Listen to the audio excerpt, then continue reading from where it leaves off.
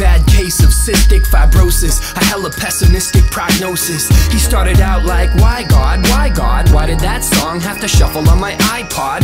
Feeling like he got struck with the left hook. He did the sensible thing and read a textbook and discovered an inherited disease that can only be understood evolutionarily. He's got a gene called CFTR with one deletion in a phenylalanine part, one less amino acid. Fantastic, hella common, one in 30 white people have it. Carry one copy and you don't even notice. Inherit two copies and catch a diagnosis. An autosomal recessive disorder, one of more than 4,000 genetic diseases recorded. And my man got the shorter side of the stick, so we started asking questions like, why does it exist? What kind of sadistic joke is cystic fibrosis? Now this is what he sings when he's feeling hopeless. I live my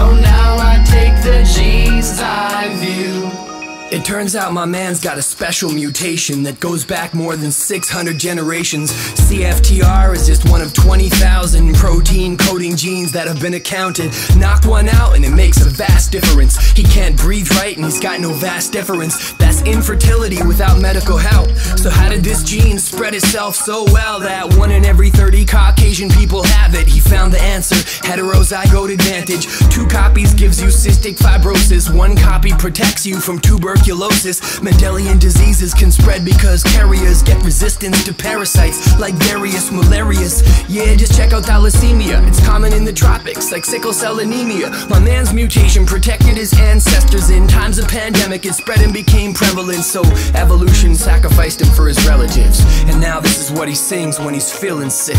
I live my life, I love my friends, I eat my food. Sometimes I just don't understand the things I do. A wise man told me, look deeper inside you.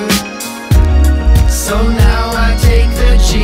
My man studied evolution up to his eyeballs until at least he could say, hey, this isn't my fault. It's all about trade offs and average benefits across populations. Sometimes it's genetic drift or founder effects. It's not always adaptive, sometimes mutations just randomly happen. Sex chromosomally X linked recessives only affect men, and yeah, that's kinda sexist. Some are autosomal dominant like Huntington's, which only kicks in after reproduction's done. So selection can't eliminate it. Maybe human ingenuity can, though it's innovative. Some disorders are so rare they're orphaned and never get a piece of the research portion. My man's only one in 3,000, but in 2015 you can be one in 300,000 and still be counted by patient advocates. Genetic research is taking massive steps. My man's getting hitched and family planning with his new genes. I view understanding.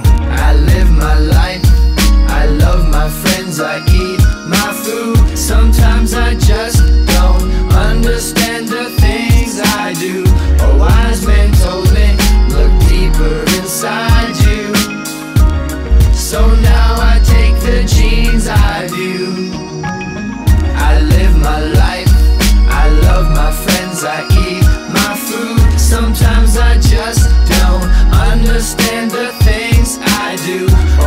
Man told me, look deeper inside you. So now I take the gene's eye view.